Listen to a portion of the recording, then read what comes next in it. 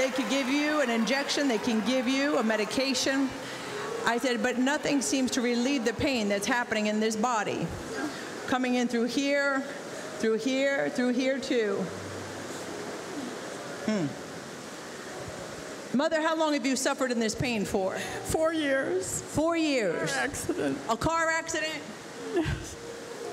I wasn't with you when it happened, but I know that God sent an angel to keep you alive. Right. In fact, I see you and you should have died. I know. But the Lord did send that angel, and it's only the devil who's mad that you're still here that's trying to keep you from having your full miracle.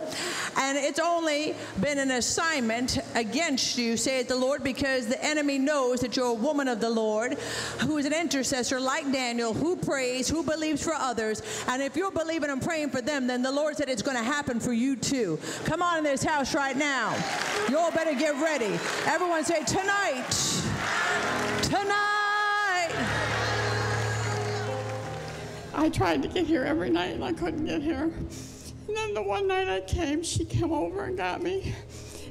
And only God knew all of this. Four years ago, I was in a car accident, totaled the front end of the car, and she said the Lord had sent an angel. I should have died that day. I had three herniated discs in my neck. I've, and she says, I've seen all the doctors you've been to, and nothing helps. It's true. I keep going and going, and, and nothing helped. And even when I turned my neck, you could hear it crack and the pain.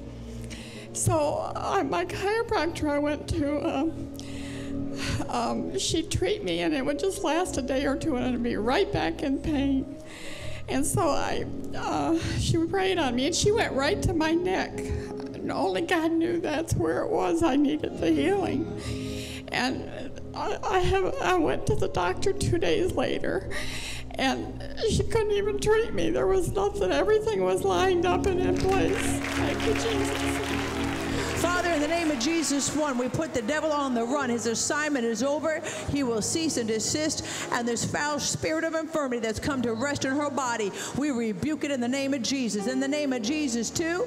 Devil, you had a chance, but you blew it because you should have killed her when you had the chance. But God sent an angel. And in the name of Jesus, three, Father God, the crown of her head to the soles of her feet, I speak a creative miracle to the spine, to the neck, to the muscles, too.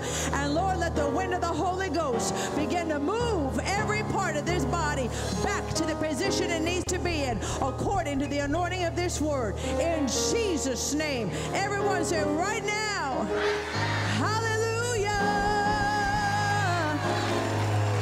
Go ahead, mother.